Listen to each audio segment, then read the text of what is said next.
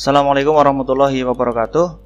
Pada video kali ini saya akan berbagi tutorial mengenai cara membuat tugas pada Google Classroom dan juga memberikan penilaiannya. Baik yang pertama kita buka terlebih dahulu Google Chrome misalnya. Kemudian kita ketik alamatnya yaitu classroom.google.com mungkin jika laptop pribadi mungkin sudah login otomatis ini hanya contoh dari awal saja. Misalkan kita pilih akun yang akan kita gunakan untuk classroom kita kita login dulu. Dan kita tunggu.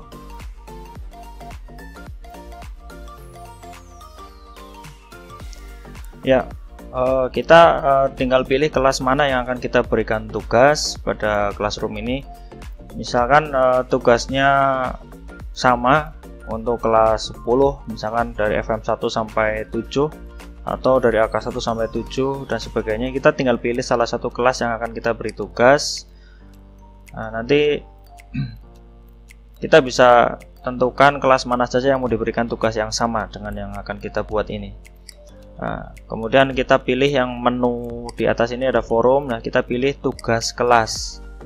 Lalu ada menu buat atau plus buat ini kita klik di sini yang paling atas kita klik tugas.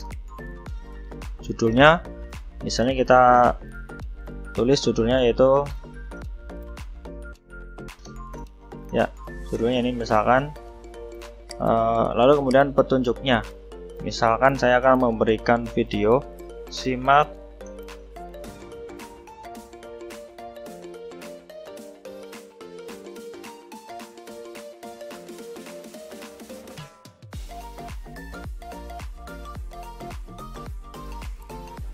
ya misalkan kata-katanya seperti ini. Simak video berikut ini untuk memahami cara menggunakan shortcut pada Microsoft Word. Nah tugasnya adalah yang pertama catatlah di buku tulis kemudian kumpulkan di sini berupa foto rangkuman tersebut. Yang kedua tulislah di tugas ini uh, maksudnya di Google Classroom ya. Seperti ini misalnya Classroom uh, shortcut pada Microsoft Word dari Ctrl A sampai Z. Ya terus kemudian tuliskan di komentar.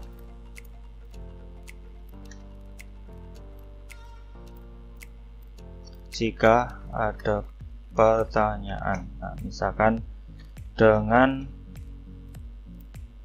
menyebutkan nama dan nomor absen misalnya seperti itu. Nah, lalu kita klik tambahkan file. Kita bisa pilih uh, Google Drive yaitu file yang ada di drive kita. Kemudian bisa juga memberikan link. Kita bisa memberikan link website atau blog atau yang lainnya. Kemudian juga bisa mengupload file ya. Mengupload file itu caranya tinggal klik upload lalu klik browse. Kita bisa mengupload berbagai macam file di sini. All file bisa video bisa juga gambar bisa dokumen berupa uh, Word Excel atau PDF atau mungkin PowerPoint ya. Jadi nanti bisa tambahkan lagu MP3 juga bisa. Jadi tinggal pilih filenya terus open. Nanti ada upload uh, ada proses upload lalu nanti akan selesai terupload di situ atau bisa juga kita menambahkan berupa YouTube. Misalkan kita telusuri di sini.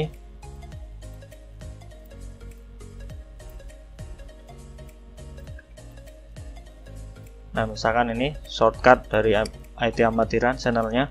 Lalu kita pilih yang mana, kita tentukan videonya, lalu kita tambahkan.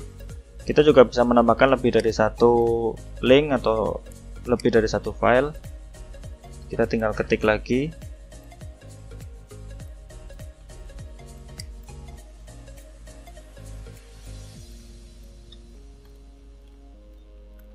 Ya seperti ini search. Nah lalu kita klik yang part 2 nya tambahkan. Nah ini sudah ada dua. Kita bisa menambahkan yang lainnya ya. Uh, kemudian kita atur di sini.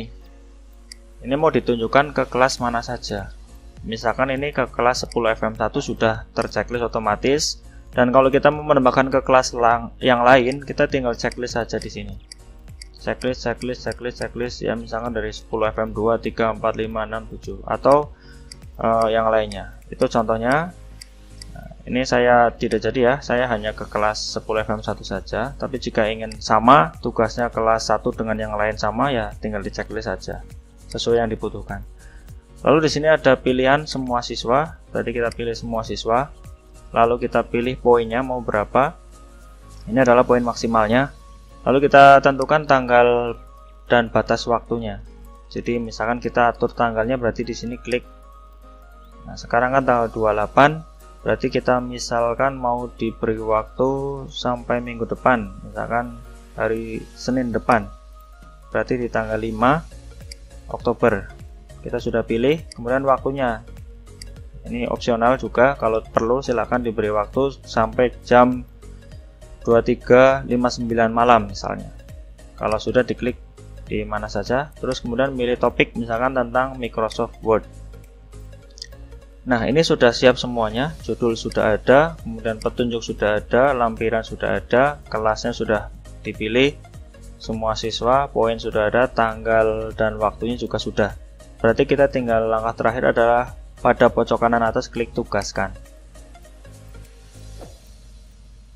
Ya, tugas sudah terkirim. Eh, kita misalkan mau ngecek sebagai siswa. Ini saya sudah siapkan akun siswa saya udah buka kelas 10 FM1 di sini. Nah, di sini kita lihat sudah ada pemberitahuan Arif Wahyudi memposting tugas baru shortcut pada Microsoft Word. Nah, kita bisa klik di sini. Anak ya, ini sebagai siswa, nanti anak bisa mengeklik di sini atau juga bisa membuka di tugas kelas. Nah, tugas kelas nanti bisa lihat tugas Anda ya. Di sini sudah dilihat di sini ada juga shortcut pada Microsoft Word ya nah nanti diklik seperti itu. Nah ini siswa nanti tampilannya seperti ini. Ya, ini petunjuknya tadi sudah ada ini adalah videonya. Nanti kalau diklik uh, tinggal di play seperti ini misalnya. Nah, itu contohnya.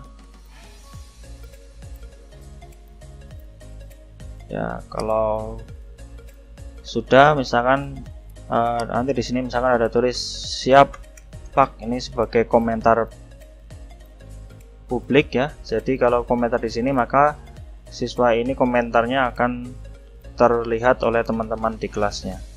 Seperti ini misalkan ini saya sebagai siswa.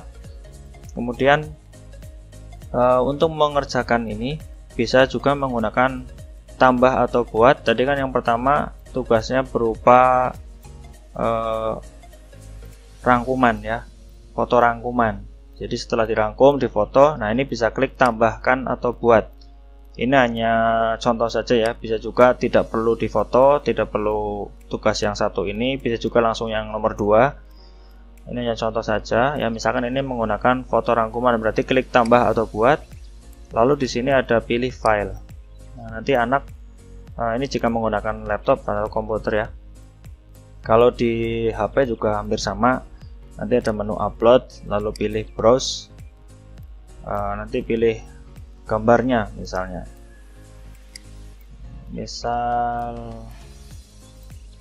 ini ada gambar ya, JPEG misalkan ini. Kemudian diklik open. Ini contoh saja.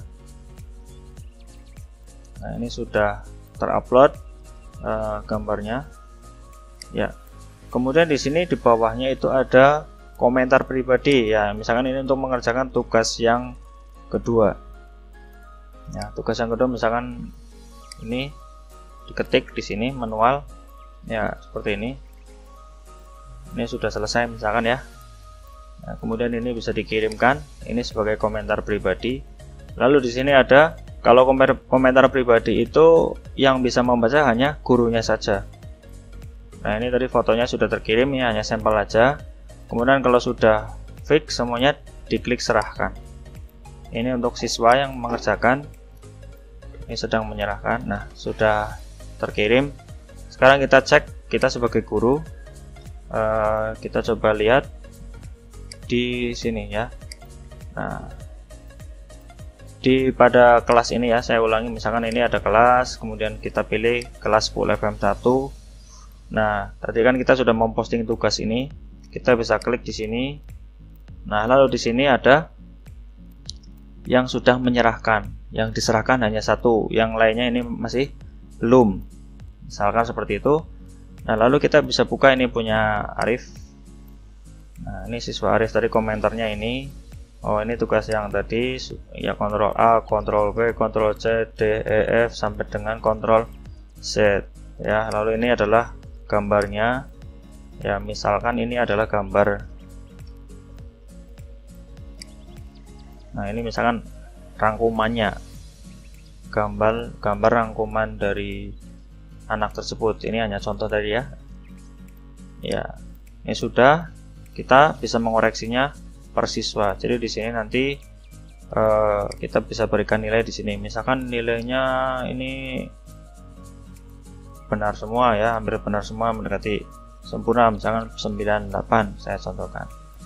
Lalu jika sudah diberikan nilai di sini, ini bisa klik di mana saja ya. Lalu di sini ada klik kembalikan. Ini hanya yang bisa klik hanya yang ini saja ya, baru ini yang mengumpulkan. Lalu kita klik kembalikan. Nah, kita juga bisa memberikan komentar pribadi kepada anak tersebut. Misalkan uh, bagus sudah dikoreksi. Ya, semangat misalkan seperti itu. Lalu kita klik kembalikan. Ya, jadi nilainya ini nanti akan terkirim ke siswa berserta komentarnya. Kita cek di akun siswa. Di sini misalkan Nah, di sini sudah ada keterangan dinilai Nah, nilainya adalah ini di sini. 98 dari 100. Ya, untuk memberikan tugas dan penilaian uh, tutorialnya seperti itu. Semoga video ini bermanfaat. Jangan lupa untuk klik like dan subscribe agar channel ini terus berkembang. Terima kasih. Wassalamualaikum warahmatullahi wabarakatuh.